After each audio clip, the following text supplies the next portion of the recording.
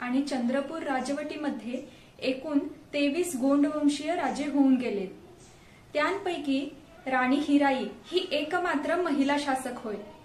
राणी हिराईचे माहेर हे मध्य प्रदेशातील मदनापूरचे.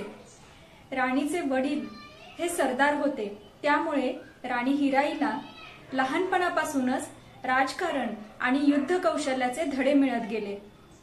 पुढे गोंडवंशीय राजा वीरशहा गादीवर बसला आणि त्यानंतर त्यांचा विवाह राणी हिराईशी झाला. गोंडवंशीय राजा वीरशहाने शूरपणाने आपली कारकीर्द गाजवली परंतु त्यांची हत्या झाली.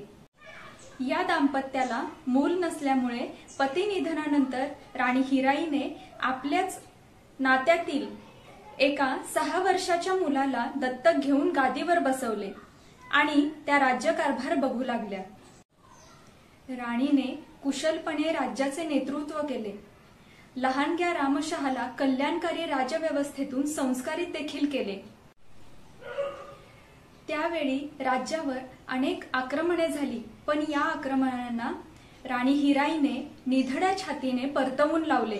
त्यांचा पराभव देखील केला. त्यावेळी औरंगजेबाचा या राज्यावर अंमल होता. परंतु अशातही राणी हिराईने कल्याणकारी निर्णय घेतले. त्यातील एक म्हणजे त्यांनी गोहत्येवर बंदी आणली.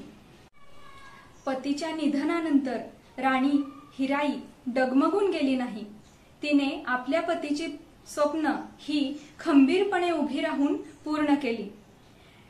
चंद्रपूर नगरीच्या प्रजेच्या हितासोबतच राणीने चंद्रपूर नगरीमध्ये आणि एक स्थापत्यशास्त्राचा उत्तम नमुना असलेली मंदिरे उभारली. त्यांपैकी आज प्रसिद्ध असलेली काही मंदिरे म्हणजे महाकाली देवीचे मंदिर अंचलेश्वर मंदिर इत्यादी हे होत.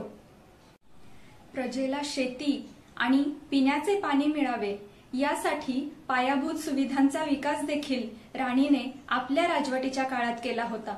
केवळ प्रजेच्या हितासाठी म्हणून अनेक कल्याणकारी योजना राबवण्याच्या प्रयत्नामध्ये राणी हिराई यशस्वी ठरल्या होत्या.